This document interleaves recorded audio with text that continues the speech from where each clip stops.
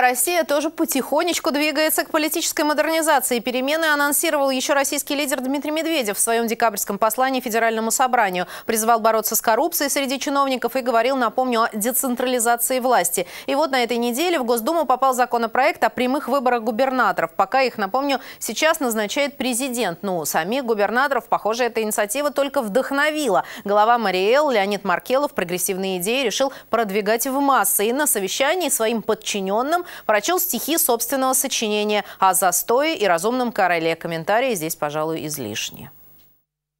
Неисповедимые пути предписывают, безусловно, для созданного воплоти совершить обет определенный. Дела Создателей чудесны, в деталях небесам известны. И вольные, невольные грехи, и мысли, крамольные стихи.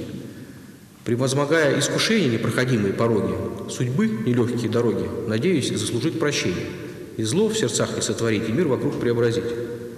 Нелегкий путь преображения и в наше время непонятен.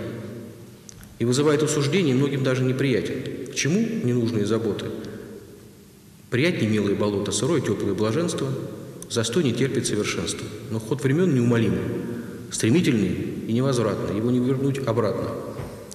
О себе необходимо оставить память на земле, как о достойном короле.